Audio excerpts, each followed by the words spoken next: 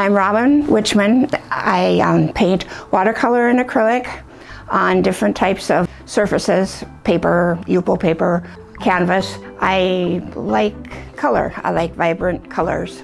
I started painting in school, um, junior high, high school, art classes, did a little bit in college, took other drawing classes, got a um, minor in art along with my nutrition major, which has been my life's work.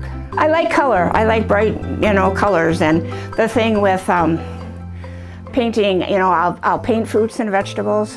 Um, I like those. I also like them in the terms of they're um, good for you to eat, you know, the antioxidants, the deep purples, the deep reds, and fun to get that color and paint those things. And again, my goal is to be fresh with the paint, go in, quick do it, and not to overwork.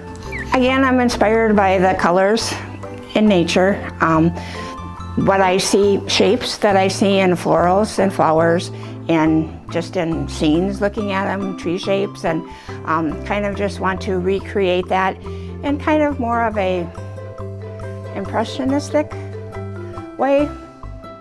From my original paintings, the acrylics or watercolors, I've have, have had cards made um, for years and I, um, I do magnets little teeny canvas paintings, a little bit bigger.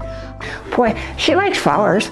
You know, I do. I'm not a gardener, but I like to look at them. I like to see other people's pictures of them. I like the real thing.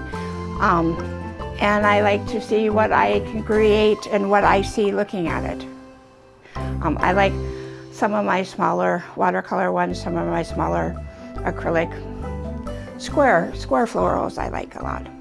This one I like, and this one I did just, I just did, and it's actually on a canvas that's kind of meant more for acrylic pouring.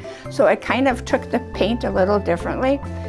I am not always sure how it's going to turn out. I love creating the art. I guess I've gotten more used to that. Yes, I guess I can call myself an artist. Come and see the paintings. Keep buying. I'll keep creating.